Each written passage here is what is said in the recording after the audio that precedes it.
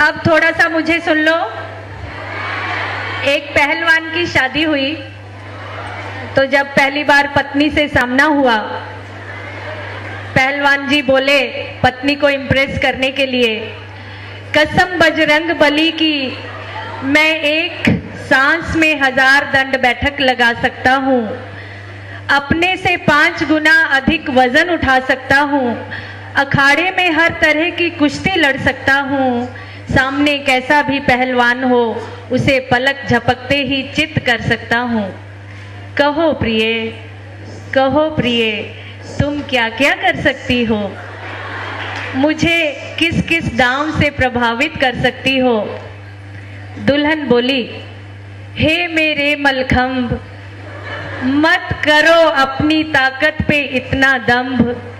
मैं तुम्हें उंगलियों पर नचा सकती हूँ।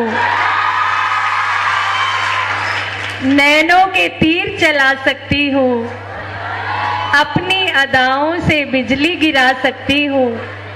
नाकों चने चबवा सकती हूँ। दिन में तारे दिखा सकती हूँ।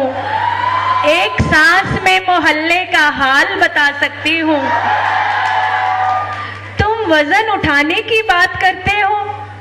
तुम वज़न उठाने की बात करते हो। मैं आसमान सिर पे उठा सकती हूँ।